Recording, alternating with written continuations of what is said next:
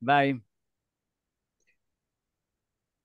Allora, prima, prima, di tutto eh, saluto i nostri due eh, relatori eh, d'eccezione questa volta, se permettete, perché insomma siamo diventati internazionali, come, come potete vedere. Eh, eh, noi qua mm, siamo Velleri, però ci, ci interessiamo pure del, delle altre nazioni un po', uh, un po' per gioco, un po' per, per cultura, un po' perché eh, quest'anno uh, cade il centenario della morte di, un, di, una certa persona, un certo Alexander Gustave Eiffel, che tutti conoscono o uh, um, um, diciamo uh, conoscono per, per la sua famosa torre, cioè la torre Eiffel, che poi in pratica poi è diventata il, il simbolo di, di Parigi. È nata così per eh, solo per, mm, per essere mh, mm, una struttura in ferro, mh, mm, per essere montata e rismontata, credo, subito dopo eh, per l'esposizione universale di Parigi del 1889, ma poi si è capito che tutto sommato Uh, doveva rimanere lì e doveva, eh, eh, perché automaticamente è rimasta eh, a simboleggiare questa grande città che è Parigi e quindi che è la Francia. E, Chiaramente allora io do il benvenuto alla professoressa Giuliana, eh, al nostro eh, esperto, diciamo così, del, di, questa, di, questa, costruzione, eh, l'ingegner, mi corregga se sbaglio, Pierre Pegon, e do la parola per eh, naturalmente, come si fa sempre, alle, alle, gentili signore, quindi do la parola alla, alla, alla professoressa Giuliana, prego. Allora, buonasera, mm, mi presento brevemente, appunto mi chiamo Giuliana Cardani, sono professoressa in restauro architettonico nella scuola di architettura del Politecnico di Milano eh, afferisco ad un dipartimento che è quello di ingegneria civile e ambientale, un tempo chiamato ingegneria strutturale, e questo aiuta a capire la mia passione eh, dell'architettura più legata alla costruzione storica. In realtà la mia è una passione mh, legata alle murature storiche, agli edifici in muratura storica e alle loro tecniche costruttive che sanno essere anche molto molto diverse e soprattutto legate anche al territorio in cui sono state costruite. Eh, io qui ehm, volevo fare solo un'introduzione brevissima all'intervento che sarà praticamente totalmente gestito dall'ingegner Pierre Pegon, perché volevo fare un'introduzione sul periodo storico e sulle, sulle costruzioni storiche eh, in, in ferro, in metallo, in acciaio. Eh, soprattutto per dire che nelle costruzioni storiche gli elementi metallici non venivano usati frequentemente perché erano ovviamente materiali costosi. E quindi si hanno di solito degli utilizzi nascosti eh, come per esempio come perni, staffe per legare blocchi di pietra eh, come grappe oppure venivano utilizzati come tiranti, quelle che vengono anche chiamate catene in ferro ma che sono degli elementi eh, metallici che ehm, solidarizzavano le pareti degli edifici per, per, garantire loro un comportamento scatolare ed evitare la spinta fuori dal piano, il ribaltamento fuori dal piano delle pareti. E, e, quindi è facile ancora oggi osservare nelle costruzioni storiche questi elementi sotto archi e sotto volte, eh, le volte in muratura, proprio perché questi elementi curvi ehm, potevano dare delle spinte orizzontali che le murature non erano in grado di sopportare qualora fossero subentrati ulteriori modifiche. Ne abbiamo degli esempi bellissimi ehm, nelle architetture storiche, eh, a volte anche aggiunti, ma in alcuni casi anche originali, tipo il, il Duomo di Milano eh, nonostante la, la, sua antica costruzione originale, presenta ancora i suoi tiranti, le sue catene originali in ogni campata. In ogni campata. Mm, poi ovviamente sono materiali che quando si danneggiano vanno sostituiti. La cosa interessante è che il metallo quindi veniva usato sempre un po' in modo nascosto, no? Poi dopo nell'Ottocento invece comincia a prendere una certa visibilità sostituendo alcuni elementi architettonici tradizionali. Quindi i solai in legno che prevedevano ehm, le, le, travi e i travetti in legno, eh, nell'Ottocento vengono via via sostituiti con putrelline o putrelle in ferro a vista con, con i voltini in muratura. Vengono per esempio sostituite le capriate, le strutture delle coperture in legno, quelle triangolari, che garantivano quindi una certa luce eh, libera sotto degli ambienti liberi, senza muri di spina, senza colonne, e anche queste via via nell'Ottocento venivano sostituite con capriate in ferro, no? basate anche sulle strutture reticolari, ma di fatto una copia delle capriate anche palladiane. Ehm, Dopodiché questi elementi metallici cominciano a diventare protagonisti, no? Quindi ci vengono in mente le grandi gallerie urbane che coprivano alcune vie della città con uh, strutture in, uh, in, ferro e vetro. Pensiamo alle, alle cupole, no? dalla Galleria Umberto di Napoli alla Galleria Vittorio Emanuele a Milano, grandissima. Quindi vediamo che eh, questa architettura del ferro, che è proprio un'architettura dell'ingegneria, comincia a diventare sempre più importante, apre nuove prospettive perché sono strutture più leggere delle strutture in muratura, eh, garantisce delle luci coperte più ampie e quindi con possibilità di utilizzo diverse e soprattutto comincia a combinare anche una certa bellezza insieme alla forza. Eh, le strutture riescono ad unire forma e tecnologia sempre di più, quindi non sono solo strutture nascoste di aiuto, aiuto, ma cominciano a essere anche belle.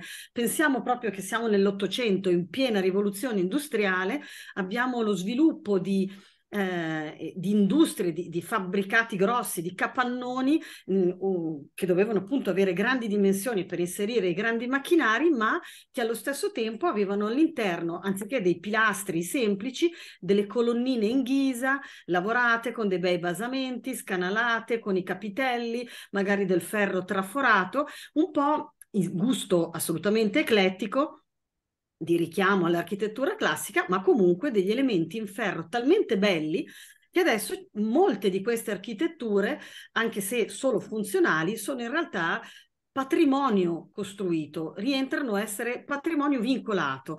Alcune strutture in ferro, come alcuni ponti che sono stati assolutamente all'avanguardia e che permettevano di costruire eh, ponti anche sospesi eh, su, su grandi fiumi, sono diventati anche patrimonio dell'umanità, patrimonio dell'UNESCO. Quindi parliamo di un'architettura in un periodo che si sviluppa in maniera fortissima e soprattutto ehm, la, questo è, è, sempre per dare un lancio alla motivazione della Tour Eiffel che poi ci spiegherà il nostro amico Pierre.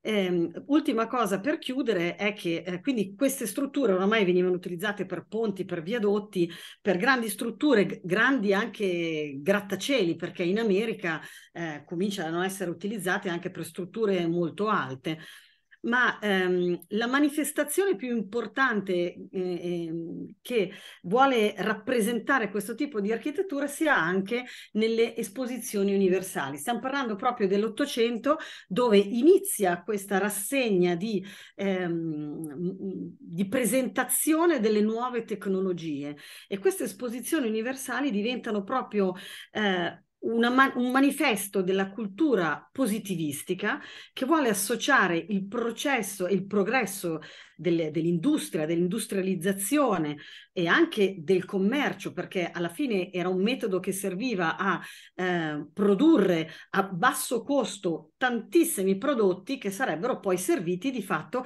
alla popolazione. Quindi cercava di unire il progresso industriale, il commercio all'intera umanità. E quindi più che mai queste esposizioni universali che rappresentavano tutto il mondo manifestavano questa potenza nuovissima data anche dalla tecnologia che via avanzava, come, come anche l'arrivo dell'elettricità, della corrente elettrica. Quindi ecco perché eh, secondo me è molto bello ehm, eh, quello che racconterà l'ingegner Pegon perché fa capire ehm, il motivo di, di, questa costruzione e anche perché poi è rimasta il simbolo di una, nazione, di una città e di, un, di una nazione intera. Ecco, io mi fermo qui perché non voglio rubare tempo all'ingegner Pegone, spero che sia stato tutto chiaro, poi comunque alla fine restiamo disponibili per le domande. Bene, allora diamo la parola all'ingegner Pegon e una breve presentazione e poi si avventuri proprio nel, nel personaggio. Allora, bu- buonasera a tutti. Io, diciamo, sono un pensionato. Ho lavorato fino all'inizio, all'anno scorso al Centro Comune di Ricerca di Ispra. Eh, sono stato anche responsabile di un grande laboratorio di, di prove sismiche. Ho fatto tanta modellazione nella mia vita. Sono nato a Parigi e come bambino, come adolescente, come giovane uomo non ero molto interessato alla Tour Eiffel.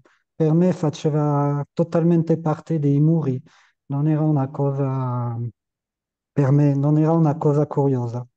Poi una volta sono andato a Trento per vedere de- delle tesi e, e ho visto una tesi sui punti bulonati de- dell'in- dell'inizio del Novecento e, e- e la, la- la pers- la persona che faceva la presentazione mi ha detto alla fine, ma sai che la, la- la struttura rivetata la più grande del mondo si trova a Parigi e si chiama la Tour Eiffel.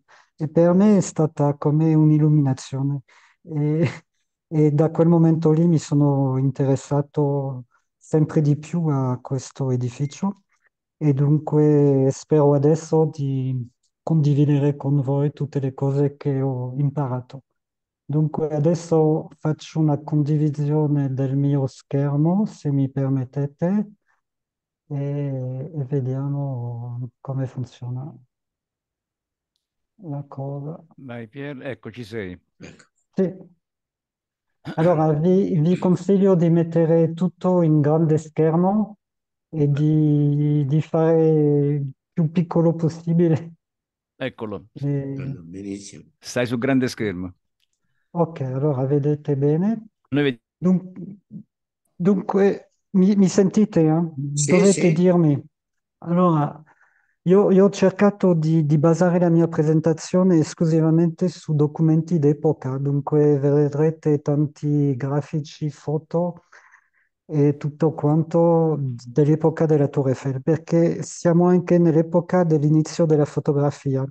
E quando Eiffel ha costruito la sua torre, eh, c'erano già fotografi professionali, dunque è molto interessante di vedere che è stato tutto documentato non solamente attraverso eh, cose scritte, ma anche attraverso tante fotografie, perché boh, sicuramente era scenico la Tour Eiffel. Allora, la, la mia presentazione è molto lunga, dunque cerco di andare il più veloce possibile. Volevo parlarvi del contesto della torre, delle origini, del suo design, della sua costruzione, come è stato organizzato il cantiere per fare una costruzione così veloce e poi un brevissimo epilogo. Dunque, il contesto della torre, è, direi, la torre non nasce eh, per caso, nasce da, da- da un contesto. Giuliana ha cominciato a parlarne un po' parlando delle grandi costruzioni me- metalliche, ma c'è una convergenza di circostanze che hanno fatto questa storia. Allora, la, la Francia di- del- dell'Ottocento è, è- è- è- un paese che ha avuto tanti problemi perché ci sono stati due imperatori, tre re, due repubbliche e tre rivoluzioni, tutto prima del 1889. E la, la Terza Repubblica, che è quella dell'epoca, è nata dopo una guerra persa contro i tedeschi, è una rivoluzione repressa nel sangue molto molto violenta. C'è un regime a maggioranza repubblicana solo dal, dal 70 79 e poi c'è una grande instabilità nei governi che beh, eh, direi tanti paesi hanno conosciuto questo eh, nel- ne- nelle loro repubbliche. Per esempio ci sono stati sette governi solo in quattro anni prima del- dell'esposizione dell'89. Dunque il paese ha veramente bisogno, la Repubblica ha veramente bisogno di storie di successo e di simboli forti per eh, dire, recuperare la- diciamo, il suo orgoglio nazionale. Eh, poi perché, perché la torre fa 300 metri? Beh, perché, perché non fa 300 metri per finire, fa più 1000 piedi. E lì c'è una, come dire, una competizione. Ne- Direi ne- nel- nell'immaginario del- dell'epoca c'è come superare a 1000 piedi. Que- in- in- nel, nel 32 c'è stato un primo, primo, primo progetto che si chiama il Monumento per eh, Reform Act, che è stato proposto in- nel 32 da, da Richard Redlich, che, che è già una, una torre molto alta che fa 30 metri di, di- di- di di diametro alla base, che è fatto di, di 1500 piastre di ghisa e che ha un, un ascensore. Il problema di questa struttura è che Richard è, morto l'anno successivo e non ha potuto portare il, il suo progetto. E vedrete su tutte le illustrazioni che seguono che il monumento di 300 piedi, di 300 metri, è sempre avvicinato a disegni delle strutture le più alte del mondo a quell'epoca.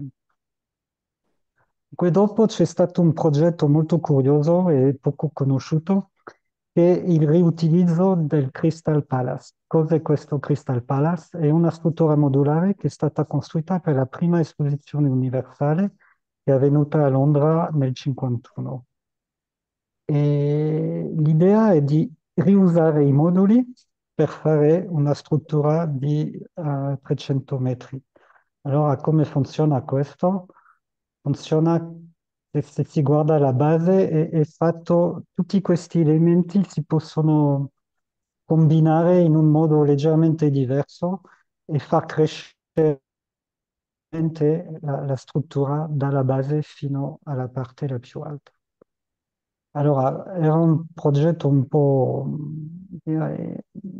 di pura eh, architettura e senza base ingegneristiche molto forte, in particolare mh, probabilmente non poteva tenere il suo peso, dunque chiaramente non ha avuto un grande successo, ma l'idea dei 100 pie- dei 1000 piedi è andato avanti e c'è stato una- un progetto che eh, per l'esposizione universale del 76 a Filadelfia, che, è la- un- un- che- che- che è stata organizzata per festeggiare il centesimo della- del- dell'inizio degli Stati Uniti, de- della, della rivoluzione. Dunque, eh, è un progetto di ingegnere e una ditta privata che pensavano di impilare un, un sistema che si chiamava Colonna Felix, Phoenix, che sono, sono elementi prefabbricati che si possono fissare uno sull'altro e poi ci sarebbero stati dei cavi per mantenere questa, questa colonna in alto. Allora, ci sarebbero stati quattro ascensori dentro e poi un- una scala e poi varie piattaforme per osservare eh, l'esposizione e, e far, direi, per, per, per- per- esserci. Questo non è stato fatto perché sembra che per ragioni finanziarie.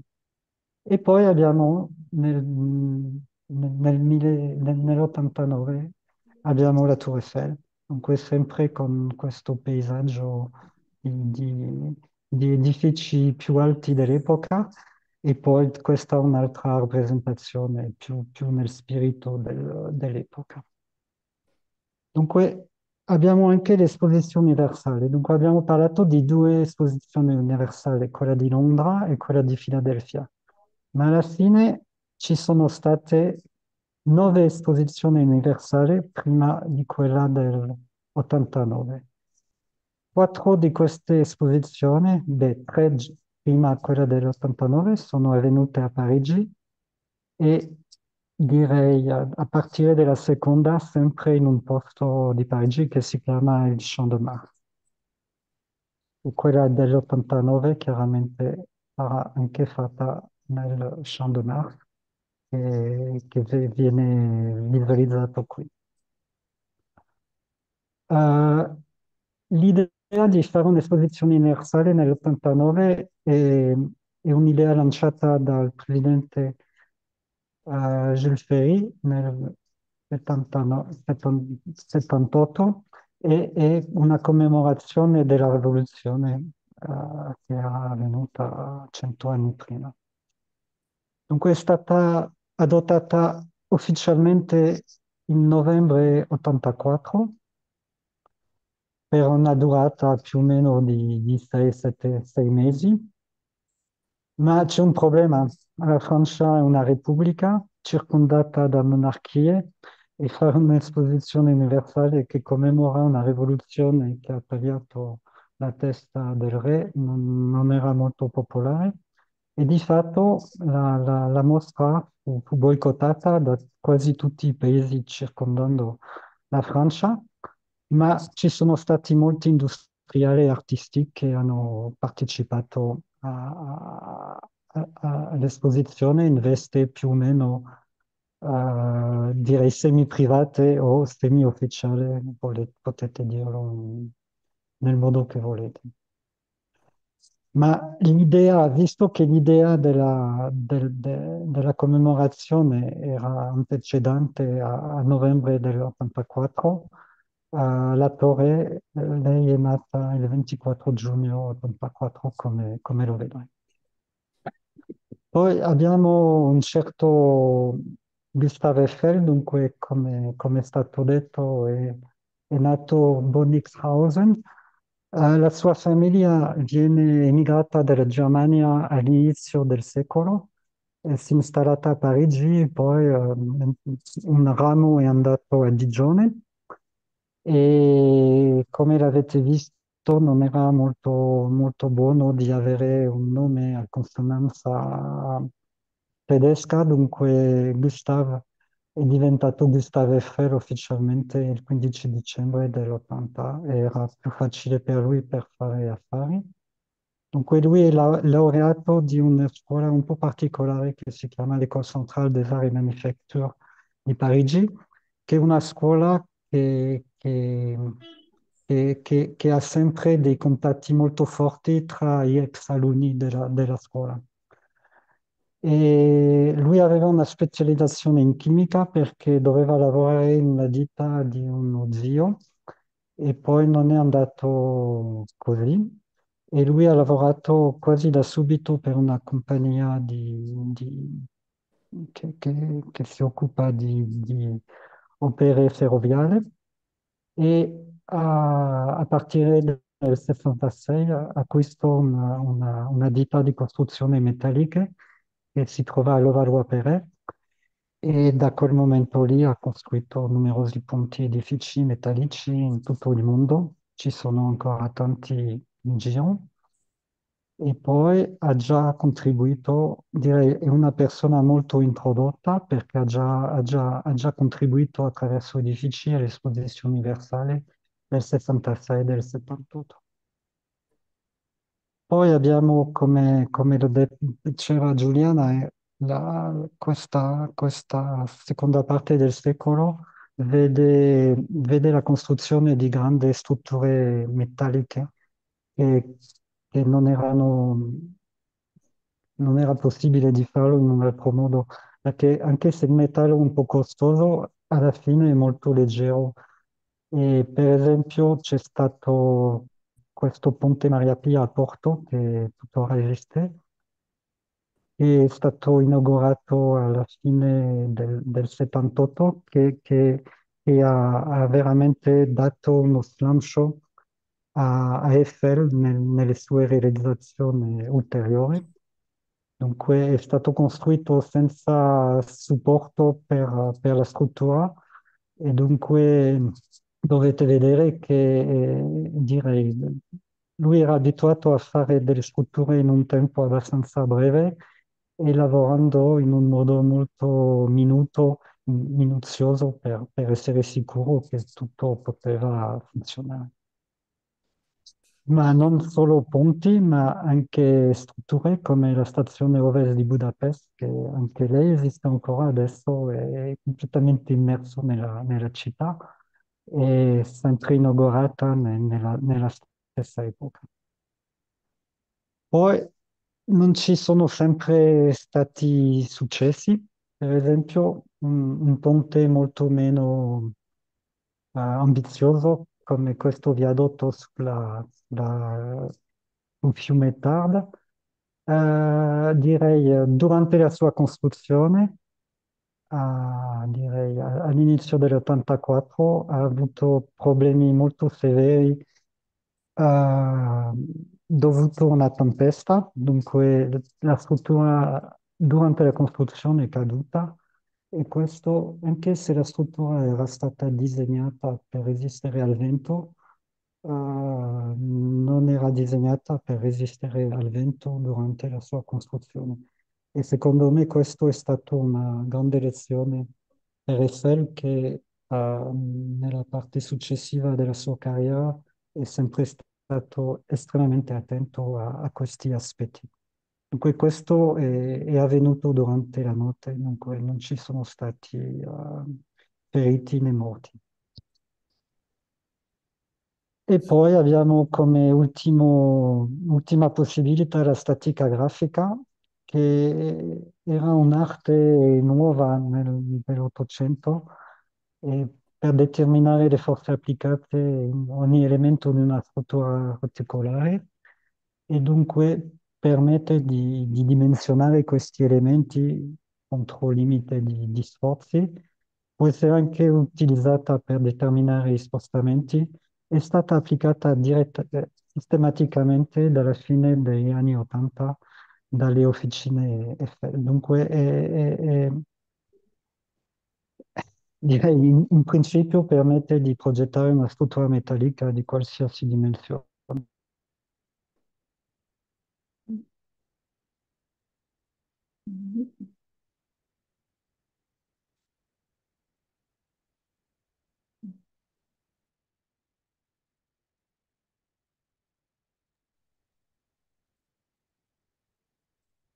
Pier, Ken Koslin era un giovane ingegnere, lavorava da due anni eh, da Eiffel e E, e lui ha portato, e lui ha- aveva studiato con, con uno dei fondatori, eh, Kuhlmann, de- della statica grafica e, e- e l'ha portato nel, nel- dalla ditta di, alla ditta di Eiffel e per esempio i, i- direi dei ponti sono, direi lui ha disegnato dei ponti prima di, di lavorare sul disegno della Torre Eiffel. Dunque quella notte lì ha fatto un- uno schizzo che si trova a Zurigo adesso, dove che era un dise- direi che, che era un pilone alto 300 metri per la città di Parigi 89. Allora, lui ha fatto questo progetto con un altro ingegnere che si chiama Émile Nouguet, che lavorava da Eiffel da più di dieci anni, che era anche lui un, un specialista dei disegni, ma più nel modo applicativo.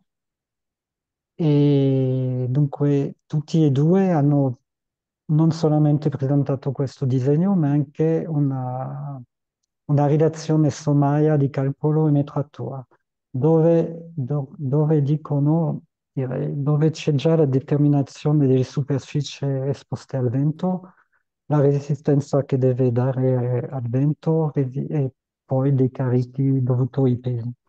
E poi c'è questa cosa meravigliosa, tutti questi elementi sono funzioni uno dall'altro, i calcoli dovranno essere quindi fatti, eseguiti simultaneamente e io aggiungerei iterativamente. Allora, Su questo progetto c'è qualcosa di, di- Dunque, questo è un esempio di, di statica grafica. Allora, non, non vado nei particolari, ma l'idea dietro questa torre è che la forma curva dei mo- mo- mo- montanti permette di evitare dei, dei controventi, perché, perché le, le- le- le- le- le forze eh, che risultano dal vento a ogni altezza alla fine si intersecano con l'asse, l'intersezione dei montanti e questo vuol dire che non c'è bisogno di un elemento, di un controvento per prendere il taglio. E dunque si può dire che alla fine è la forma della Tour Eiffel che permette a questa struttura di resistere al vento e tutto il resto è, è fatto per anche resistere al, al- al carico verticale. Dunque loro hanno inventato un, un modo di costruire che, permet- che avrebbe potuto permettere di fare una torre anche più alta. Ma a quel momento lì, quando questi due ingegneri lo presentano a Eiffel, lui non è, non è entusiasta, probabilmente perché la, la struttura non ha, non ha un'identità. Allora, Koechlin e Nouguier si, si mettono in contatto con un, un, un architetta che, lui, che si chiama Stéphane Sauves, che lavora anche per Eiffel, e che con l'incarico di migliorare l'aspetto del pilone e per farlo diventare una torre. Allora, nello spirito del tempo, eh, Sovestre aggiunge dei piani coperti, aggiunge degli archi, anche dei zoccoli alla base e poi un campanile in cima. E basato su questo, direi, eh, sembra che Eiffel, che, che sapeva anche che l'esposizione universale stava per essere ufficialmente, eh, eh, direi, decisa, si comincia a interessi- a interessarsi alla torre. Allora, prima mossa c'è stato un brevetto presentato in settembre dell'84 da Eiffel, Nouguier e Koechlin, dunque Eiffel entra nom- nominalmente dentro, e a, a proposito di una nuova disposizione per la costruzione di pile e piloni oltre a 300 metri di altezza.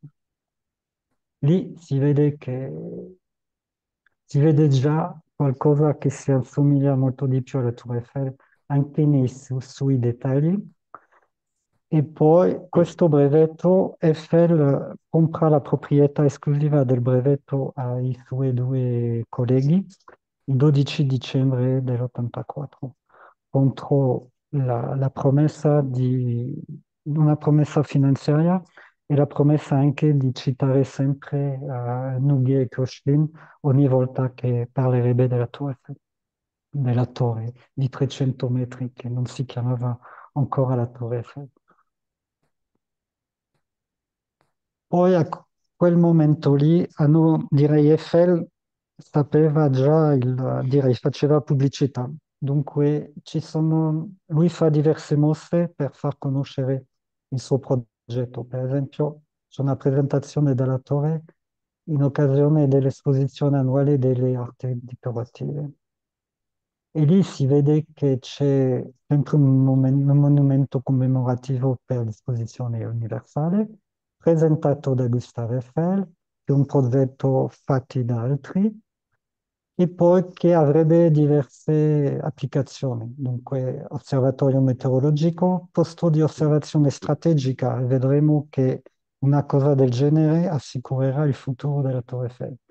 Un faro per l'illu- l'illuminazione elettrica, questo si riferisce a un progetto concorrente che vedremo dopo, e poi già un, un- un aspetto eh, per il pubblico che è di poter salire a 300 metri di altezza, che questo sicuramente non era una cosa banale per l'epoca. Poi lui fa anche lentamente questo va dentro i, i giornali. All'epoca, come, come lo immaginate, non c'era TV, non c'era radio. La prima emissione di radio è stata emessa dalla Tour Eiffel negli anni 24 e mi sembra la TV verso gli anni 50. Dunque, all'epoca le riviste e i giornali erano molto importanti. Dunque, la prima menzione della Torre Eiffel nella torre sulla stampa è nel Figaro. Poi ci sono due riviste più scientifiche che, che ne parlano e poi dopo, alla fine dell'84, inizio dell'85, due, due, gio- due giornali veramente a pubblicazione larga.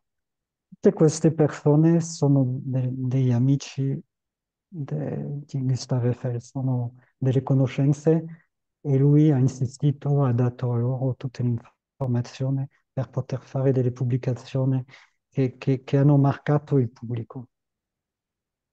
Ma la Torre Eiffel, la torre, eh, aveva dei concorrenti. Dunque ci sono state discussioni molto accese nell'anno 85 tra, tra diversi grandi progetti che sono stati presentati davanti a, a- a- a delle organizzazioni di, di- di costruzione civile, eccetera. Uno è la colonna sole di Sébillot e Bourdet e l'altro è la Tour Eiffel. Allora, cos'è questa colonna sole? Allora, la colonna sole si chiama così perché Amédée Sebillot aveva visto negli Stati Uniti, ne- nei pochi anni prima dell'81, direi questo progetto di illuminare una città con, una- con un faro e, e dunque era un'idea molto positivista di- di- con un- un unico faro elettrico di poter illuminare una città. Stato, sono stati progetti a piccola scala negli Stati Uniti e lui ha portato questa idea e, e voleva illuminare tutto Parigi eh, eh, con un faro. Dunque si, si associa con Jules Bourdet, che lui era l'architetto, che era una persona molto conosciuta, il grande rappresentante degli architetti in Francia dell'epoca, è quello che ha concepito il Trocadero, non quello che conoscete adesso, ma il palazzo, vedremo delle foto dell'epoca. E, e- e lui era anche molto introdotto con eh, i poteri politici. Dunque lui presenta questo dicendo che la sua torre poteva andare fino a 360 metri, era un'architettura molto classica, molto più bella che una possibile torre in ferro. E poi che il gran- lui, lui pretendeva che il granito era molto più nobile e molto meno costoso del ferro, a un fattore 1 a 7,5. Dunque, eh, l'unica cosa che lui non diceva è che ci voleva molto meno ferro che il granito per costruire una torre così. Dunque abbiamo d'altro canto, dunque, sì, quest- questo vi dà l'idea del- del- dell'ampiezza della base della, della sua colonna sole rispetto alla base della la Tour Eiffel come la conosciamo adesso. Dunque era, era un edificio abbastanza grande e massiccio. Dunque, dal- dal- dall'altro lato, Eiffel, lui comincia la sua presentazione da- davanti dunque a, a un comitato scientifico parlando del- dell'obelisco del monumento di Washington a Washington DC. Dunque, quel, quel- quel- quel monumento Ah, inizialmente doveva fare 183 metri e poi alla fine ne ha fatto solo 170 e ha avuto problemi di fondazione durante la sua costruzione notevoli. Hanno dovuto rifare le fondazioni quando, quando la struttura era, era alta una cinquantina di metri. E, è un progetto che è stato molto sofferto, costruito in due periodi Dunque su un arco di tempo che direi molto lungo, parliamo di, di- di una decina di anni. Dunque, Eiffel punta sul fatto, dunque, problema delle fondazioni, ribaltamento eh, del- della struttura e lunghezza del- del- del- della costruzione.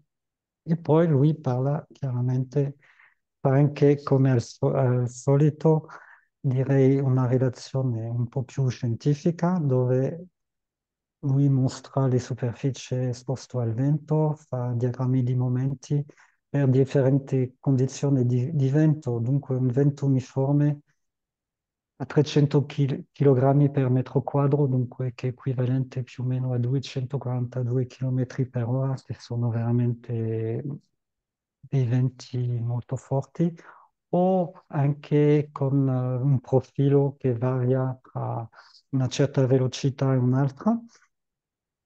E direi alla fine lui dimostra che la, la sua struttura non potrà uh, ribaltarsi. E, e, questo insieme al fatto che Eiffel era capace di costruire delle strutture in un modo, in un tempo molto corto, ha sicuramente fatto uh, dare a lui il supporto di un personaggio che si chiama Edward Lockroy, che è stato ministro de dell'industria e poi sarà il commissario dell'esposizione universale. Dunque sicuramente da quel momento uh, Lockroy pensa che Eiffel sarà il suo candidato. Allora, cosa, cosa si fa dopo? Dunque non si può scegliere direttamente per Eiffel e dunque c'è l'organizzazione di un concorso. Quel concorso è pubblicato il primo ma maggio dell'86 e dunque ci sono vari articoli e poi uno, uno degli articoli dice che i concorrenti devono studiare la possibilità di avere nel campo di Marso una torre di ferro di base quadrata di 125 metri di, di, di, di lunghezza alla base e di 300 metri di altezza, esattamente la torre Eiffel. Poi ecco, la consegna dei progetti doveva essere fatta 17 giorni dopo, voi immaginate. E i progetti dovevano essere complessivi, dunque per tutta l'esposizione universale. E dunque ci sono comunque state 107 proposte, quella lì per esempio è la, la, la proposta di Silvestre Fe. E poi dopo, a, breve tempo dopo, ci sono stati dei premi. Dunque l'idea era di premiare diverse persone per diverse parti del loro progetto. Dunque, per esempio, ci sono stati tre progetti premiati in prima linea. Dunque, il primo è uno di Jean-Camille Formiger che ha avuto la costruzione del Palazzo dei Arti Liberati, poi un altro per avere la galleria delle macchine e Eiffel non è arrivato primo, è arrivato terzo, ma lui si aggiudica la costruzione della torre di 300 metri. Poi ci sono stati premiati, dunque, scusatemi, ci sono state critiche al progetto, uno sull'isolamento elettrico della torre e un altro sulla sicurezza degli ascensori. E poi abbiamo anche dei progetti premiati in seconda linea e uno è assolutamente bellissimo, quello di Joseph Cassien e Bernard e Francis Nachon, che era una torre che cavalcava il fiume Seine. E a, a me direi, è, era, è, è molto bello, anche se possibilmente difficile da costruire nei tempi dati, ma direi è un'idea molto originale. Dunque la Torre Eiffel perché? Perché Gustave Eiffel da quel momento lì diventa letteralmente centrale, perché lui, è lui che ha firmato un accordo tripartito con lo Stato e la città di Parigi per fare la costruzione. Poi è lui che ha avuto eh, contatto con le, le, banche per avere finanziamento. È lui il proprietario dell'atelier di Levallois e, de, de, e, e, il capo degli operai che fanno la costruzione della torre. È lui che ha lanciato la società della Tour Eiffel che si occuperà dell'esercizio de, del, de, della torre, di, di, di, di sfruttarla dopo, dopo l'esposizione universale. E poi lo Stato e la città di Parigi, loro due, si sono anche, hanno litigato per sapere dove sarebbe costruita la, la, la torre. Allora perché? allora, per- parliamo prima dell'accordo tripartito, dunque è, è fatto tra lo Croix, Poubelle, che era il prefetto di Parigi, e Eiffel. E dunque all'articolo 7 vediamo che ci sarà un premio di 1.500.000 franchi. Uh, poi c'è anche i diritti di esercizio per vent'anni, perché chiaramente la torre costerà molto di più. E, e dunque uh, uh, Eiffel dovrà mettere dei soldi e in, in, direi, in cambio avrà, avrà il diritto di, di sfruttare la torre a suo piacere per vent'anni a partire del primo gennaio del 90. Dunque la torre quando è stata costruita era una struttura temporanea, ma temporanea dopo vent'anni. Dunque aveva già una durata di vent'anni più o meno assicurata se, se, se, se poteva essere costruita. E poi all'articolo 10 viene detto, ma questo è per sorridere, eh, che c'era tu, tu, tutti i dipendenti di Eiffel avrebbero avuto un ingresso gratuito all'esposizione. Dunque è stata una, una, una discussione accesa. Dunque questo, per esempio, è, è, una pagina dove si vede Eiffel che dice no, no, no a, a, a, ai diversi articoli. Que hanno, hanno messo quasi cinque mesi per, per firmare l'accordo tripartito. Poi la sua collocazione. Allora, c'era una lotta tra la città di Parigi e, e, e, e lo Stato. Perché? Perché in, mille, in 1886 uh, il Champ de Mars era a metà, era in gran parte posseduto da, dallo Stato, ma una piccola parte era, era già di proprietà della città di Parigi. E il problema è che lo Stato non era capace all'epoca di concedere concess- concessioni. Dunque la, la, la, la, torre doveva essere fatta nel, nel, nel, nella parte che apparteneva a Parigi, ma era finanziato da un progetto dell'esposizione universale, non era dalla città di Parigi, ma era dallo Stato. Dunque lì hanno dovuto mettersi d'accordo. Dunque alla fine la torre si, si trova lì, il più vicino possibile uh, della parte del, dello Stato, ma comunque nella parte della, della città di Parigi, che, che si vede qua. Allora, a livello del finanziamento, direi ci sono questo 1.500.000 franchi pagati dallo, da, da, dallo Stato, dunque un franco dell'epoca valeva più o meno 4 euro di adesso. Poi il costo stimato invece era di più o meno 6, 6 milioni e 500, dunque bisognava trovare i soldi per il resto. Dunque 5 milioni sono stati presi in prestito da, da, da tre banche, ma l'accordo viene sigillato solamente in, uh, il 3 settembre dell'88. Quindi in pratica Eiffel anticipa una grande parte dei fondi, visto che la costruzione è iniziata in gennaio dell'87.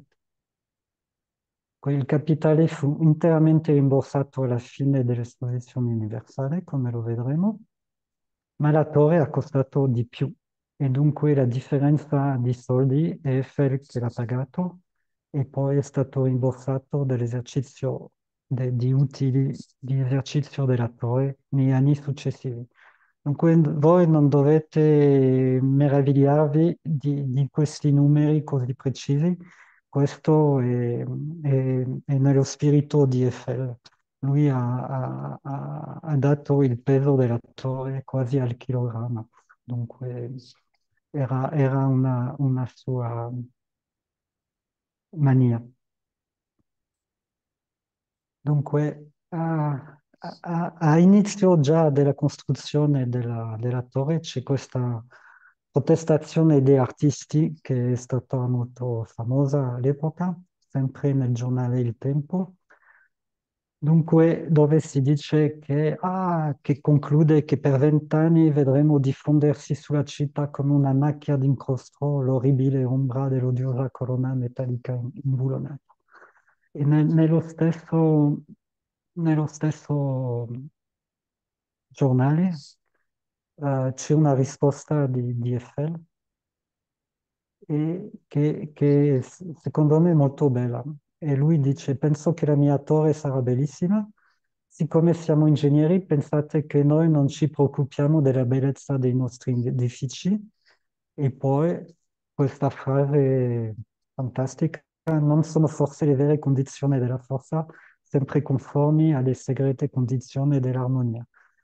Dunque, boh, e, diciamo come ingegnere che, che ha sempre preferito un cubo a qualcosa di curvo, penso che è, è- è- molto bello che all'epoca di Eiffel, da un ingegnere, poteva eh, avere delle, delle- delle formulazioni così forti. Allora, per finire, c'è finire questa, questa parte delle origini, perché come è stato disegnato la Torre Eiffel? Allora, per, per parlarne bisogna parlare del ferro pudellato. Allora, questo è, è- è- una prima approssimazione dell'acciaio. Dunque, il pudellaggio era, è la trasformazione di ghisa in acciaio dove si cerca di- di- di- di diminuire nella ghisa eh, la proporzione di fosforo, di silizio, di manganese e soprattutto di carbonio.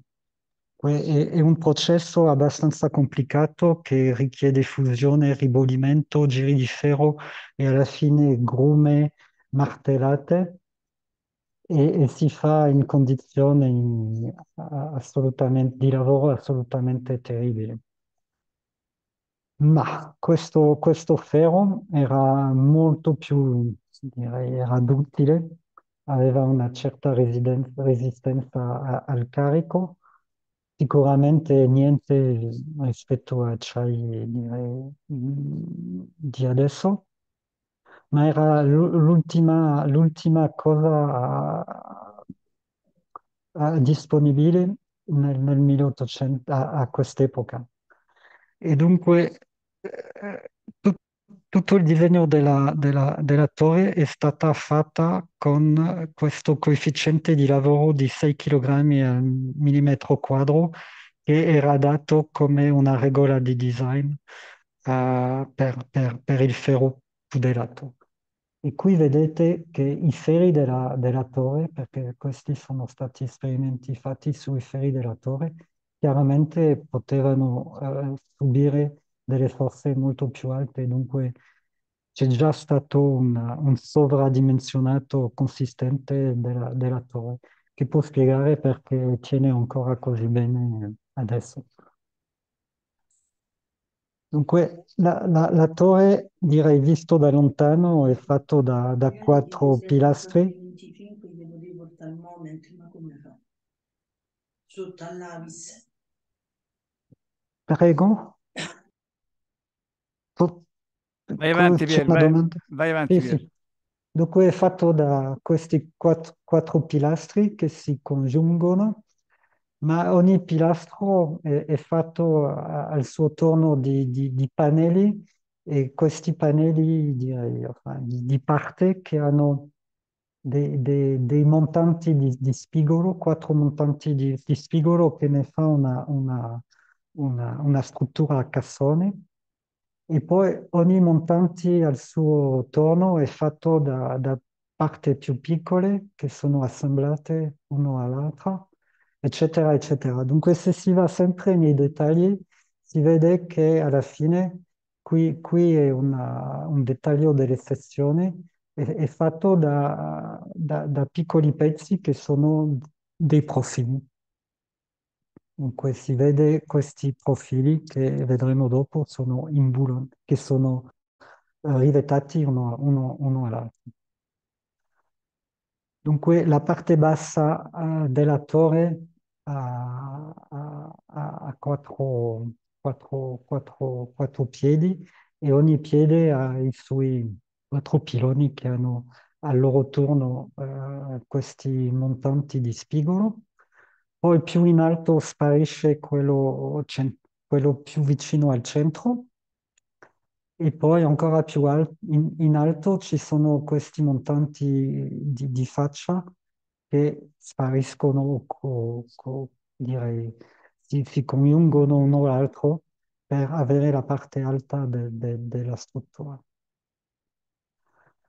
Questo è un piccolo disegno che vi parla del peso della torre. Allora, io vi ho detto che finalmente la torre è abbastanza leggera. E perché di- dico questo? Dunque, c'è questo piccolo disegno dove viene riportato che la, la parte di ferro è di 7000 tonnellate e ne- nella, direi, è stato più o meno di, di questo, di, di- questa ampiezza. Ma Uh, su- su- viene detto che attrezzata fa o- o- otto- 8.500 tonnellate, e è vero se si parla di tutte le strutture, diciamo, di ferro e di ghisa, ma la, la- la torre fa, è più vicino a, a 10.000 eh, tonnellate. E poi c'è il peso dell'aria del cilindro che contiene la torre è di 9.000 tonnellate, dunque è molto vicino a- a- a- al, peso della torre. Dunque è, è- è- una- è- qualcosa di interessante di, di- di pensare. E poi que- questo peso di 10.000 tonnellate fa una sollecitazione ai appoggi che è di 3,28 kg al centimetro quadro. Dunque, questo è, direi, l'appoggio della torre, visto come è stato di- disegnato, sono state disegnate della- le, le fondazioni, è, è molto bassa. E questo anche eh, vi fa capire che la torre non, non affonda per niente nel, nel terreno. Dunque la statica grafica è stata usata per eh, stabilire i carichi del vento, carichi del peso e poi gli sforzi nei montanti e dunque anche eh, direi, eh, nel- direi che viene rappresentato in un modo grafico, non vado nei dettagli. E così possiamo andare sulla costruzione della torre. Allora, la torre è un cantiere, la costruzione si è fatta su due anni, due mesi, cinque giorni. Dunque, stata- la costruzione è stata iniziata il 26 gennaio dell'87 e fino al 31 marzo sono state costruite le fondazioni. Poi qui vedete c'è un grafico che vi dà un'idea della quantità di, di metallo rispetto, cumulato rispetto a- al tempo di costruzione. È una curva che è quasi lineare, dunque all'inizio la, torre crescerà molto lentamente e più andrà verso l'alto, più crescerà rapidamente. C'è una serie di foto di Théophile Faux presi dal Trocadero che, che vi dà una buona idea della costruzione. Dunque qui vedete in rosso il, tempo al quale è stato preso la, la fondazione, la, la- la foto. Poi in agosto, poi a settembre, dunque lì si comincia a vedere la, la parte bassa della torre, poi ottobre, poi novembre, dicembre, che è più o meno il momento dove cominciano la costruzione della, della- della prima piattaforma. Poi a marzo, aprile si avvicina lentamente a giugno alla, alla seconda, secondo livello. Il 10 luglio eh, comincia la costruzione del, del- del secondo piano e poi c'è il primo fuoco d'artificio tirato da- dalla Tour Eiffel il 14 di luglio 88 e poi continua la costruzione. Dunque vedete che più andiamo avanti, più va veloce, fino a- al 2 aprile del 89. Dunque che la, la torre al, mo- modo, direi in modo visivo sembra di essere completata. E dunque è stata inaugurata il 31 marzo dell'89, dunque ci sono persone che sono salite eh, usando le scale fino alla cima della, della torre per mettere la bandiera francese, ma, non- non- ma c'è ancora del lavoro da fare. Dunque rivettatura, poi sistemazione di piani e di ascensori. Quell'Expo sarà aperta, come avevo detto, il 6 maggio, ma la torre solamente il 15 maggio, perché le scale del primo e il secondo piano sono state aperte completamente a quel momento lì. Il primo ascensore è stato in funzione il- verso il primo piano il 27 maggio, poi verso il secondo piano il primo il 4 giugno, l'altro il 22 giugno e solamente il 15 giugno l'ascensore fino al terzo piano. Dunque gli ascensori sono un po' rimasti indietro. Allora, eh, la torre ha avuto un piccolo problema per le sue fondazioni. Allora, questa è una piantina di Parigi nell'89, dove si vede il Champ de Mars, ma negli anni, diciamo, eh, nel 1730 il futuro Champ de Mars si trova qui. Dunque, se facciamo un zoom, si vede che, che- che la Seine aveva un braccio che le- nell'89 non, non esiste più. Questo è la- la- il vecchio percorso della Seine, è messo sulla piantina di, di Parigi nell'89 e lì vedete quella- quel, quel braccio della, della Seine che, che- rende la, la- la costruzione un po' complicata perché si vede che due pile sono molto vicino a questo vecchio, vecchio, vecchio braccio. Allora, dov'è il problema? Allora, il problema viene illustrato qui, dunque avete le pile, un- direi le pile 2 e 3 sono le più lontane della- del fiume e le pile 1 e 4 sono quelle più vicine. Dunque, se, se si guarda un- una, una sezione del suolo, si vede prima un, direi un 6-7 metri di, di- di un terreno che, che- che- che è un terreno che è stato usato per un terrapieno, un terreno che, è fatto di, di cose che sono completamente improprie per supportare la torre, la torre, dunque la torre dovrà appoggiarsi sotto sicuramente, ma sotto c'è un altro terreno che, è- che nasce dal- dalla storia del, del- del- del- del braccio, dunque anche una- un terreno spongioso che non può resistere a, a alcun peso. E poi sotto solamente si trova un terreno sul quale si può costruire una fondazione.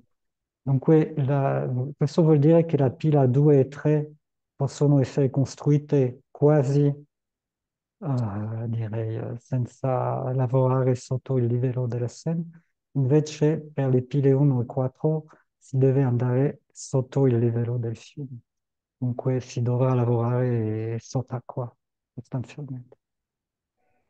Allora, prima ci sono dei scavi e poi dopo si comincia, dopo aver tirato via quel, quel- quel terreno di- di terrapiano, si, dove- si deve andare sotto eh, questo livello, usando dei cassoni a, a aria compressa. Allora, come funzionano questi cassoni? Qui c'è la rappresentazione del terreno che è un po', diciamo, eh, poroso, pieno di acqua.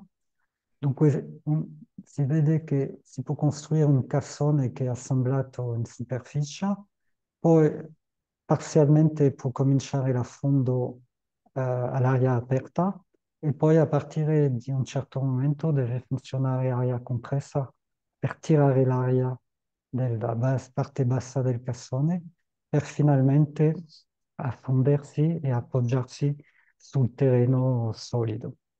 Allora, questo è una, un- una sezione della- di un cassone, dunque gli operai lavorano sotto e scavano, dunque il materiale viene portato in alto e poi viene messo nel cassone. Dunque sostanzialmente si prende il terreno sotto, poi si, si mette sopra, quel cassone pesa sempre di più. E poi quando uh, qui c'è, c'è, c'è, viene, viene, viene dell'acqua, allora viene pressurizzato per tirare via l'acqua e dunque si può continuare a lavorare. E così hanno dovuto lavorare per affondare il, il, il cassone più o meno su 6-7 metri. Ad Eiffel. Allora, que- questo è la, vi dà un'idea del cassone assemblato in superficie. Poi questo è una parte dell'affondamento iniziato all'aria aperta. Poi qui siamo sulla parte di affondamento con aria compressa e questo è il cassone completamente affondato.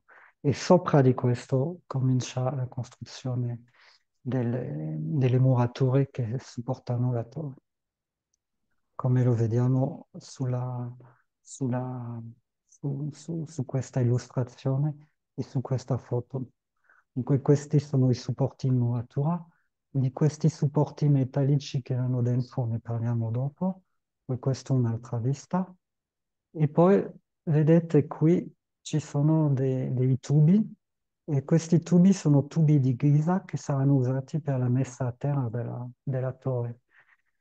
Perché questi tubi alla fine andranno sotto il livello dell'acqua, ci sarà una lunghezza di 18 metri sotto il livello dell'acqua e poi questi tubi dopo saranno connessi alla parte metallica. Perché, come immaginate, è, è un parafulmine su scala molto larga. E sono, sono fulmini che sono ascendenti, non sono discendenti, e sono abbastanza rari, ma quando avvengono sono abbastanza brutali. Poi un secondo momento clou è stata la costruzione del, vers, prim, verso il primo piano. Dunque, una volta fatto il primo piano, si può immaginare la, la, la parte bassa della torre con un sgabello che è molto stabile e sulla quale potremo sedere il resto della struttura. Ma questa struttura, il, direi il pavimento del primo piano è più o meno a 50 metri. Que prima della connessione di, di, che, che, che, fa il primo piano, i pilastri sono costruiti a sbalzo e poi dovete immaginare che c'è un, ci può essere un errore nell'altezza delle fondazioni, che vi ricordo sono distanti più o meno da 100 metri uno dall'altro. E questo fa che una, un errore fa che un errore di orizzontalità fa che la parte alta di uno può essere non allineata con la parte alta dell'altro. Poi i, i, i pilastri sono costruiti con una certa angolazione e di nuovo errori di angolazione possono fare che le, direzioni non si, non si intersecano più nell'asse della torre.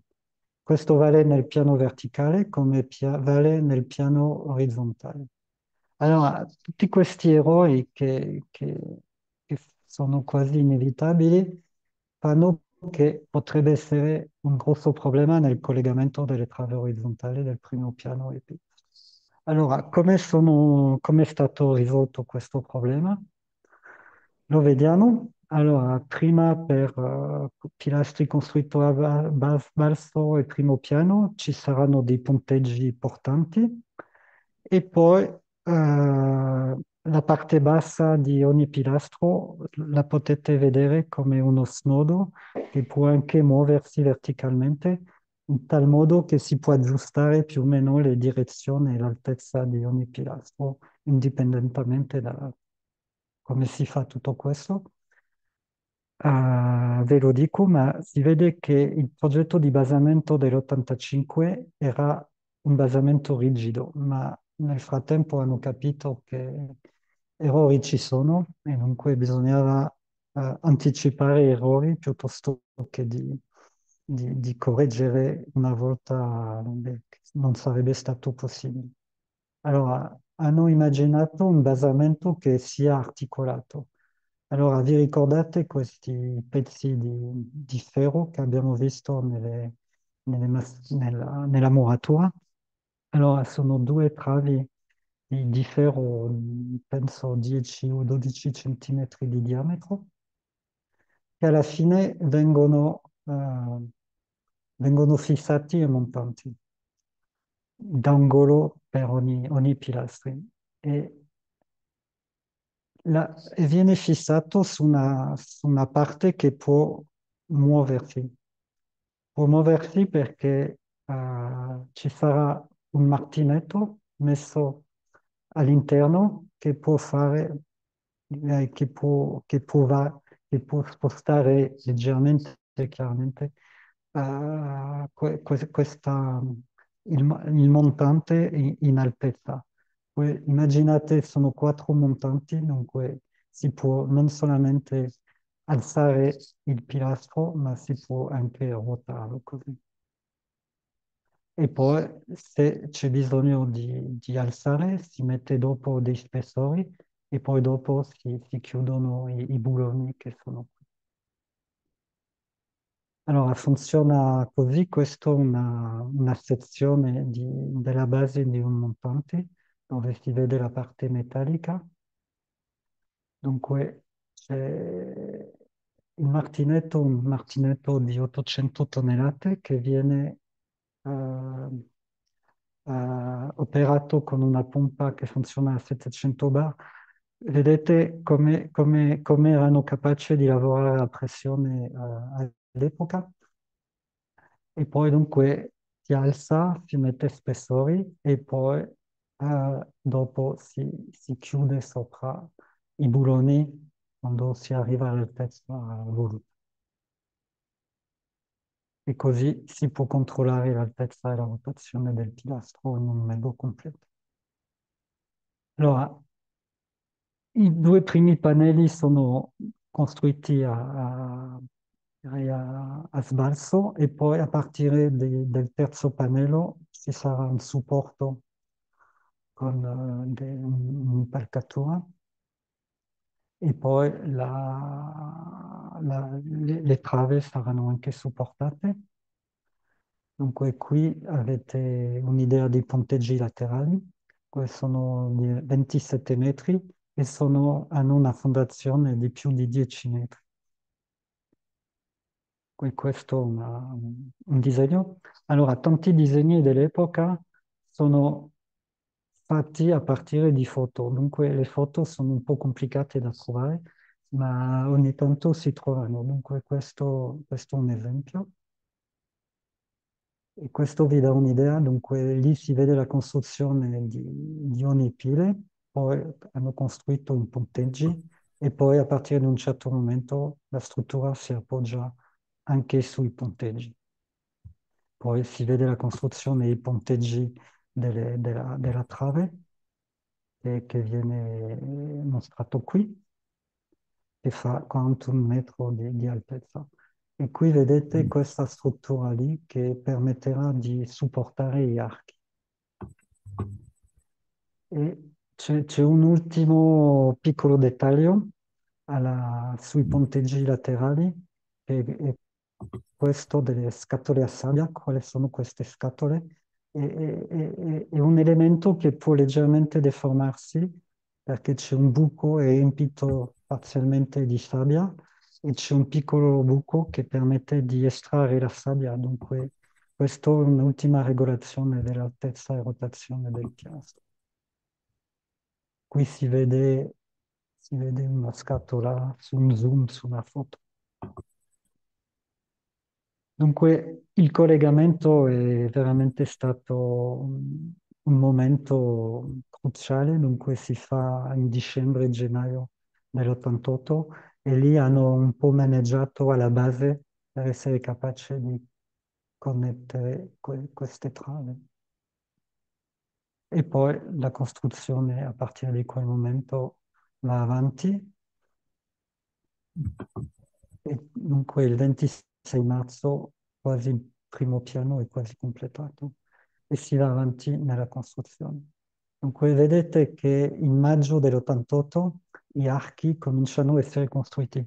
Dunque gli archi non hanno una, un, un, ruolo strutturale, hanno un ruolo esclusivamente uh, decorativo e sono costruiti appesi dall'alto. Dunque non sono costruiti dal basso per, per portare qualcosa, sono costruiti dall'alto per uh, diventare, diciamo, un elemento architettonico. Poi la torre va avanti, dunque in, a giugno vedete che si comincia a collegare il secondo livello.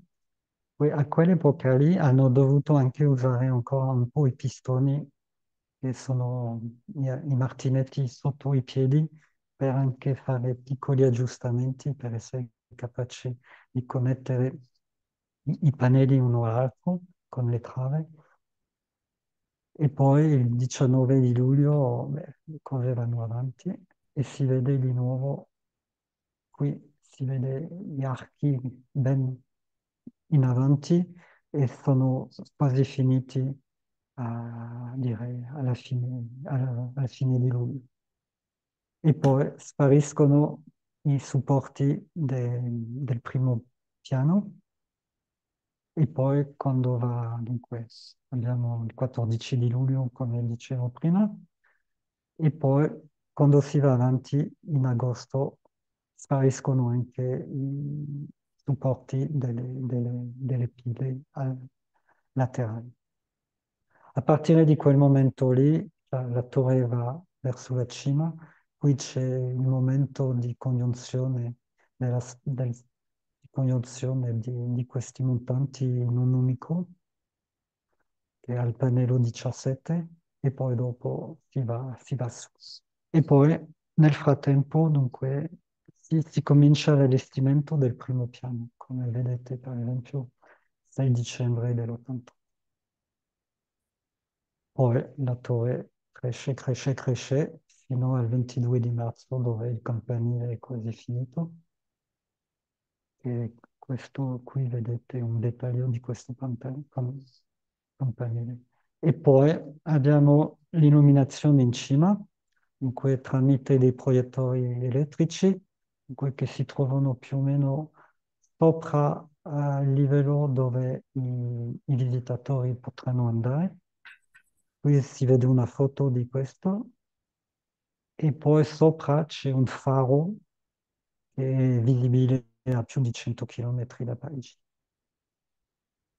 E dunque la, la, la, come, come, adesso la, torre si illumina, qui, qui si vede una, una, una, un disegno e poi questa è una foto da quale il disegno è stato tirato.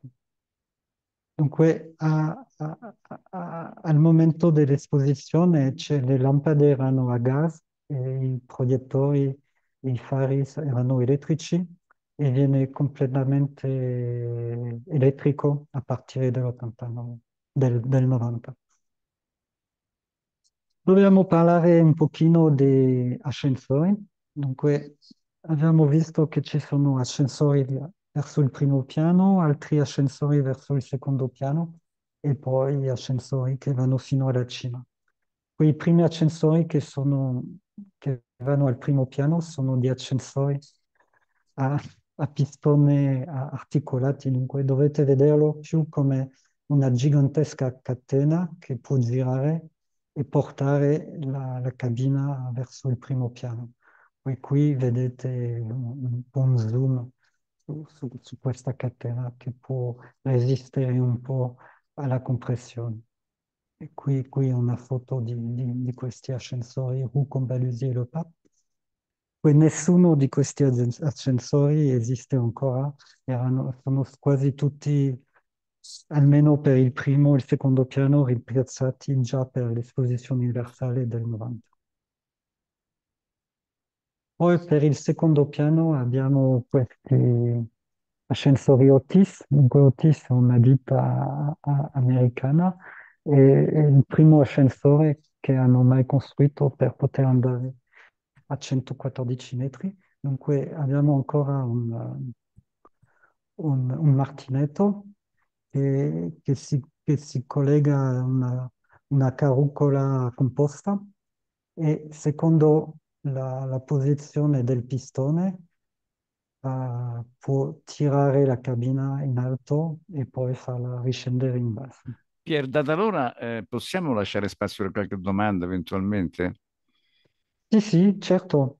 C'è c'è ancora da, da mostrarvi, ma posso, posso fermarvi a qualsiasi momento. Bene, allora. Fate come voi, volete. Io faccio il stop sharing, eh, se volete, perché posso, ma possiamo continuare dopo, forse, dopo Eventualmente, domande. in funzione delle do- esatto, in funzione delle domande facciamo poi eh, le nostre considerazioni. Ecco, ci Va sono, bene. ci sono domande? E non so se mi sentite perché ho dovuto fare l'aggiornamento. No, ti, ti- stiamo sentendo. Ok, semplicemente questo. E la durevolezza dei materiali. Noi stiamo scoprendo ora che la limitatezza nella durata, nell'efficienza dei materiali cementizi eh, si ascrive ormai a 90-99 anni. Si suppone ci sia un limite temporale alla, alla robustezza nel tempo di questa torre in materiale metallico? È una curiosità, io non capisco nulla di queste cose, eh? No, no, sicuramente il ferro pudellato è un ferro che ehm, è, è fatto, è fatto a strati, direi, Ah, si, si ok. può, si può sgretolare abbastanza facilmente e per questo che uno è stato, direi, costruito con delle caratteristiche migliori che quelli che sono usati per altre opere che si vedono nella natura adesso, che sono completamente distrutte, e poi è stato eh, molto bene protetto da, direi, vie- viene ri, eh, protetto ogni sei anni. Dunque ah, ogni volta che lo, che lo rifanno eh, viene, viene, viene, viene tenuto sott'occhio. Dunque io ho letto dei articoli quest'anno che diceva che la torre non era più capace di supportare il suo peso, eccetera, eccetera. Ma avete visto che il ferro pudellato della, della, della torre, direi, poteva supportare un peso, direi, una, de- delle forze più o meno sei volte più grande che quella di disegno. Dunque, anche se si ammette che ha perso della sua resistenza, sicuramente ne ha ancora abbastanza per durare alcuni anni. Non, non dico un millennio, ma direi qualche anno sicuramente ancora. Dunque lo ok. potete, la potete visitare tranquillamente. Eh, noi stiamo pensando infatti di venire a Parigi l'anno prossimo e grazie per la spiegazione.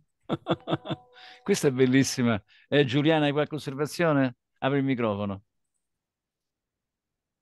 Ah, no, no, io mi ero già tutta informata, quindi su questo non, non ho nulla da dire. Indubbiamente è vero, la domanda sulla durabilità è molto importante, però eh, in effetti oramai è un monumento e quindi avrà la sua cura eh, eccezionale nel corso degli anni. Poi soprattutto dopo l'evento di Notre Dame, credo che tutti i monumenti parigini verranno sottoposti ad un controllo veramente eccezionale ed è giusto che sia così.